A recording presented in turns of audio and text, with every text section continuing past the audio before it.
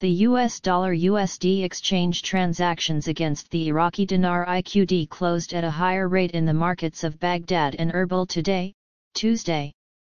News agency correspondent said that the USD recorded a closure rate of 150,000 IQD to 100 in Al Kifa and Al Harithiya central exchanges, 50 IQD above the opening rate this morning.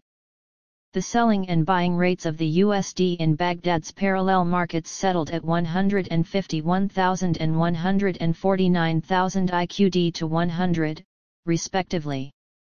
In the capital city of the Kurdistan region, USD selling and buying rates stood at 150,000 and 149,900 IQD to 100, respectively.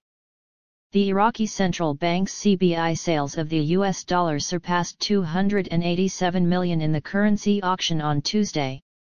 According to an official statement by the bank, the CBI sold 287,374,767 during today's auction.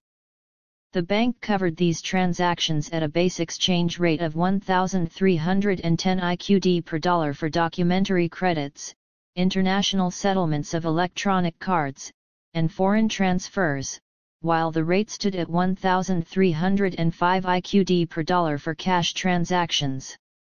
The majority of dollar sales were directed towards bolstering balances abroad in the form of transfers and credits, amounting to 276,764,767, representing a 96% increase compared to cash sales, which amounted to 10,610,000.